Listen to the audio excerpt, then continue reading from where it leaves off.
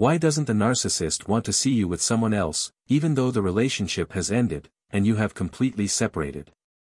You haven't seen them anywhere, and the narcissist hasn't had any chance to reach out to you.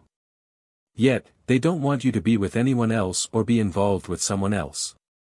This happens when the narcissist is no longer able or incapable of having you again. And this is for one reason, and that will be the topic of our discussion. Peace be upon you and God's mercy and blessings. Welcome to a new episode and a new video about narcissism. If you are interested in our topics about narcissism, don't forget to subscribe to the channel and activate the notification bell so that you receive all our upcoming episodes. When it comes to narcissists, the entire topic is about a person with a disorder, especially a disorder in attachment. This gives them the right to completely possess you. Because the narcissist cannot form a normal attachment, they also cannot separate from you naturally or healthily, like normal relationships with natural bonds and separations. The specific disorder that narcissists have is that they don't want you to be with anyone else because they believe in their self-righteousness that you belong to them. In their view, all your belongingness to them is because you are their private property that cannot be relinquished even after the relationship is cut off and separated. To the narcissist, you are just something they obtained, like any inanimate object that fulfills specific desires. They benefit from your presence in a certain way, and even when they no longer need you or the thing they have, they completely discard it until they feel the need for it again and reuse it. You are exactly that to the narcissist, a tool to fulfill their desires and hobbies. In the narcissist's mind, you belong to them, and all your qualities or possessions that they need from you are also their personal property. This means that, for the narcissist, you and everything you own are personally under their control, allowing them to manipulate you as they please, whenever they want. If you love a narcissistic person or have a relationship with them, whether it's a romantic, familial, or professional relationship, the narcissist, due to their narcissistic personality disorder, believes that merely having emotions or feelings toward them obliges you to maintain those emotions throughout the entire relationship. In other words, what you felt towards them at the beginning of the relationship is expected to persist continuously. You are supposed to continue providing the narcissist with all the emotions they anticipate from you, even though they may not see or understand that you have feelings, desires, and freedom of choice in arranging your life to suit your personal needs and desires. It is your right to continue your life after separating from them and to live again by your own choice, not by their accustomed control over your life. The narcissist cannot comprehend or believe that it is your right as a human being to choose and organize your life according to your personal and emotional needs. This is a natural aspect of life, where you do not stand still at a particular point, and life does not end with a failed relationship, poor choices, or a person who failed to appreciate you and your feelings. The narcissist cannot distinguish between what he believes and imagines within his sick mind and the actual reality. Inside the narcissist's mind, his behavior is considered normal, and what he believes in is natural. He perceives himself as acting correctly, and what is in his mind and believed by him is the norm, while people are unable to understand it. The narcissist constantly imagines that the separation from a relationship is not a real separation as we perceive it. Instead, he considers it a phase that will pass, and he will return to regain control over you whenever he wishes. For the narcissist, this is not a desire for you or the relationship between you, but rather a means to fulfill specific needs in the narcissist's mind, the need to regain attention, admiration, and approval that you used to give him. For the narcissist, having control over you and reclaiming you is a fundamental right. Retrieving you is considered natural and essential due to the narcissist's perceived power and dominance over themselves. This is the issue, and it stems from the attachment disorder we are discussing. Because of this disorder, the narcissist cannot comprehend your desire to continue your life, start anew without them, and break free from their control. This is a basic human right for anyone to choose to live in a way that brings them comfort and suits their needs, and to refuse to return to a relationship that harmed their dignity and feelings. Even after separating from the narcissist for an extended period, during which you cut off all contact with them, suddenly, without any warning, you may find attempts from the narcissist to reconnect with you and reinstate the relationship. The problem is that the narcissist cannot allow you to live your life again because, in their mind, they own and control you, even though they are not with you and have no real connection to you. Another issue with the narcissist is that they do not want anyone else to replace them in control and dominance. The narcissist measures any relationship in terms of control and dominance. Even if the narcissist has convinced themselves of the separation or acknowledges your right to distance yourself, they cannot accept the idea of someone else having control over you. In the narcissist's perspective, any person is an instrument for them to control and dominate, and the narcissist never views the situation from a human or individual rights standpoint. The narcissist believes that, no matter how far you are from them, or how long the duration, if they decide they want you back, they can easily come and take you again, treating you as a possession just like any other inanimate object they own. The narcissist never considers their actions abnormal or wrong, and they never acknowledge that their behavior may cause harm to another person. They never recognize your right to feel pain or sorrow. The narcissist faces significant challenges in personal relationships because they cannot accept continuing their life without their victim, whom they see as a source of sustenance and supply. The narcissist can continue their life, yes, with a new source and a new victim. However, they cannot accept the idea that their source of supply could slip away from their grasp. This means they are eager to obtain supply from as many sources or victims as possible. That's why the narcissist moves from one relationship to another, sometimes simultaneously, in a very normal manner according to their perspective, and they never feel that what they are doing is strange or wrong. Moreover, when the narcissist behaves in this way, they are completely convinced that they have no psychological issues that would prevent them from acting this way. Instead, it is a lifestyle and a methodology they follow.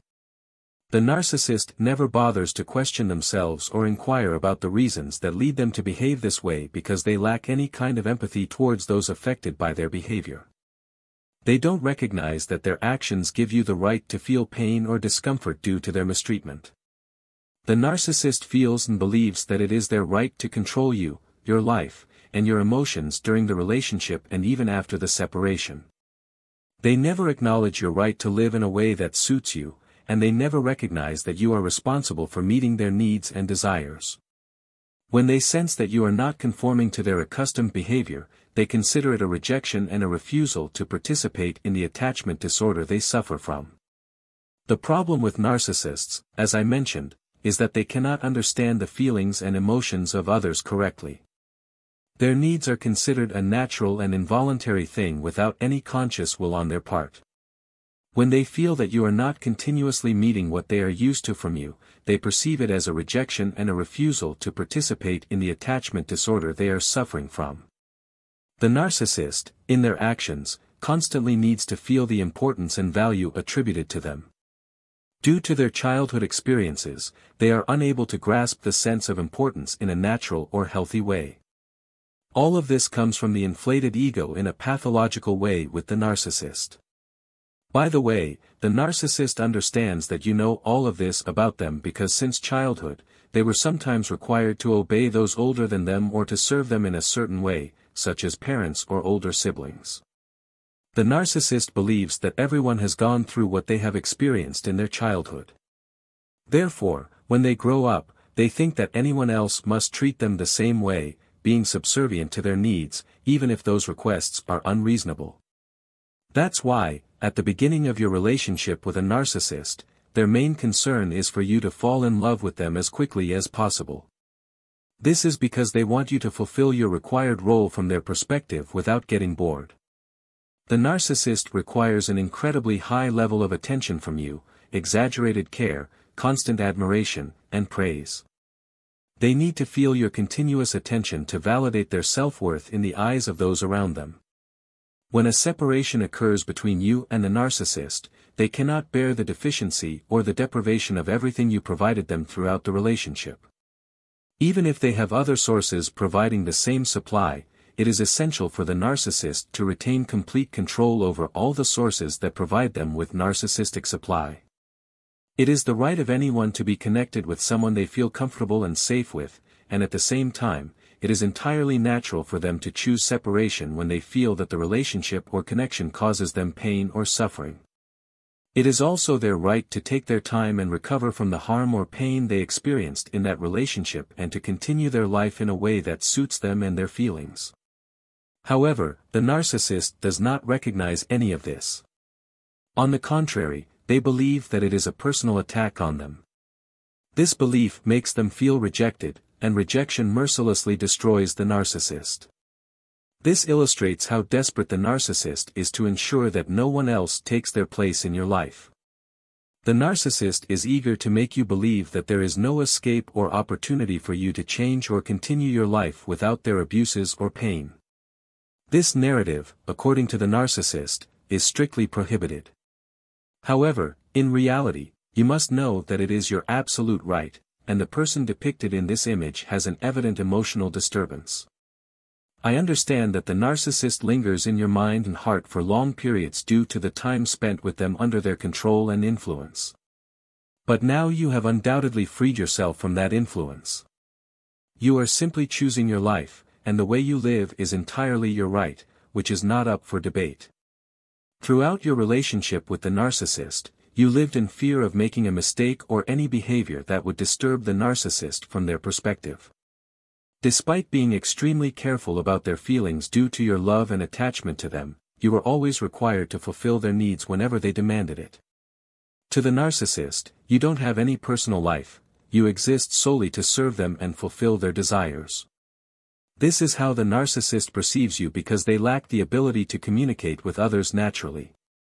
You must also be aware that regardless of the nature of your relationship with a narcissistic person or its characteristics, it is entirely a superficial relationship based on exploitation from their side without any consideration for your feelings or personal emotions.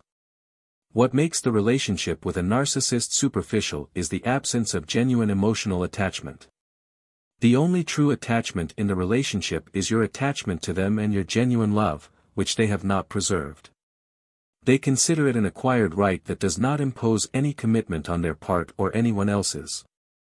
Moreover, the narcissist behaves this way, as mentioned earlier, because they lack the ability to communicate with others naturally or to form a genuine relationship that involves mutual exchange and concern for the feelings of the other party.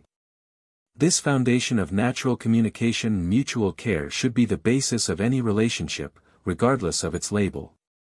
However, the narcissist's relationships are extremely selfish and exploitative. The narcissist doesn't change their way of life, no matter how many relationships they enter or people they associate with. They will never alter the way they live, regardless of the extent of harm they cause or the pain they inflict through their abusive behavior. Compassion and empathy towards others enable individuals to form connections, friendships, and relationships. These relationships are built on emotional attachment and mutual appreciation, concepts that the narcissist is oblivious to and will never accept, regardless of any efforts made. The narcissist harbors nothing but an intense sense of anger, and this anger is directed at the entire world around them because it does not conform to their desires. This unwillingness to adapt keeps the narcissist living their life in the same manner, with their relationships consisting of repetitive cycles of one toxic pattern after another. They perceive themselves as successful in their chosen lifestyle, making it impossible for them to acknowledge any need for change or improvement. Therefore, do not think that your love and significant empathy for the narcissist will benefit them. On the contrary, you inadvertently assist them in perpetuating their abusive and harmful behavior. The narcissist does not want you to progress or continue with your life, which is why you may notice that they have numerous victims. Those who have separated from the narcissist have done so by completely cutting off the relationship, communication, or interaction, except when absolutely necessary. These individuals remained with the narcissist in the hope that they would change or improve, but eventually realized it was futile. Keep in mind and be certain of one crucial aspect, the narcissistic person does not change and will not change under any circumstances. Try to save yourself from continuous exhaustion in a relationship that inevitably ends in failure, no matter how prolonged. I hope you found this episode insightful, and I look forward to meeting you in the next episode with a new topic about narcissism. Thank you, and peace be upon you.